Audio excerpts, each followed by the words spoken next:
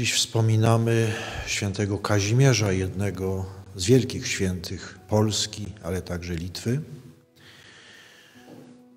Można powiedzieć, że w jego życiu musiało się dokonać to, o czym pisze święty Paweł w tym fragmencie listu do Filipian, który mogliśmy dzisiaj usłyszeć. Ojciec jego bardzo zadbał o wszechstronne przygotowanie jego i także jego rodzeństwa do sprawowania władzy. Znalazł jako nauczyciela najwybitniejszego albo jednego z najwybitniejszych umysłów owego czasu, Jana Długosza, ale także Kalimacha, przybyłego z Włoch do wykładania w Krakowie.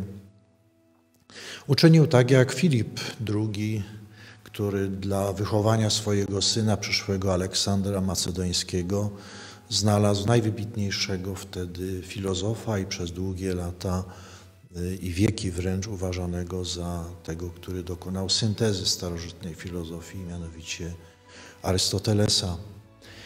Doświadczył czegoś, o czym pisze święty Paweł w tym fragmencie dzisiejszym, mianowicie pogardy wobec tego, czym człowiek mógłby się chlubić.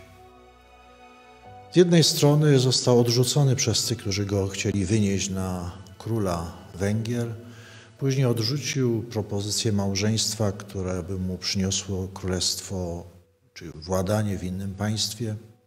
Wreszcie wykonywał polecenia ojca, aby być jakby wicekrólem w królestwie obojga narodów, ale cały czas jego otoczenie mogło widzieć, że przede wszystkim sobie ceni wiarę i życie według wiary i pogłębione coraz bardziej życie religijne. Zmarł bardzo młodo, jak na władców czy książąt przystało, bo w wieku 26 lat z powodu nieuleczalnej wtedy gruźlicy. Tak jak mówię, jego życie e, oświetla ten piękny fragment, bardzo osobisty świętego Pawła z listu do Filipian. Wszystko uznaje za straty ze względu na najwyższą wartość poznania Chrystusa Jezusa Pana mojego dla niego wyzułem się ze wszystkiego i uznaję to za śmieci.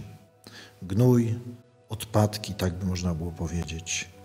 Bylebym pozyskał Chrystusa i znalazł się w Nim, nie mając mojej sprawiedliwości pochodzącej z prawa, lecz Bożą sprawiedliwość otrzymaną przez wiarę Chrystusa. Sprawiedliwość pochodzącą od Boga, opartą na wierze, przez poznanie Jego zarówno mocy zmartwychwstania, jak i udziału w Jego cierpieniach w nadziei, że upodobniając się do Niego w śmierci, dojdę jakoś do pełnego poznania zmartwych. Kazimierz miał szansę przeżyć 26 lat i przeżył to swoje życie w taki sposób, że kiedy umierał, najbliższe jego otoczenie, nie wyłączając króla, ojca, nie miało wątpliwości, że umiera święty.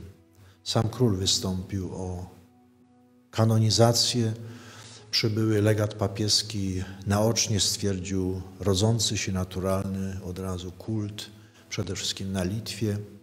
Trzeba było jakby dwukrotnie zapłacić za dokument stwierdzający świętość z Watykanu, jako że pierwszy posłaniec zagubił albo umarł po drodze także, ale dokument zginął i trzeba było wystawić drugi. Paweł apostoł dzięki tej decyzji wzgardy wobec wszystkiego na korzyść tego, żeby być z Chrystusem. Pisze to jakieś 20 lat po tym decydującym momencie w swoim życiu. Tyle mu starczyło, a nawet więcej na to, aby żyć w taki sposób, żeby przede wszystkim osiągnąć Chrystusa, zdobyć Chrystusa, być na zawsze z Chrystusem. Przyjmijmy Boże błogosławieństwo. Pan z wami. Niech was błogosławi Bóg Wszechmogący, Ojciec i Syn i Duch Święty. Błogosławmy Panu. Bogu niech będą.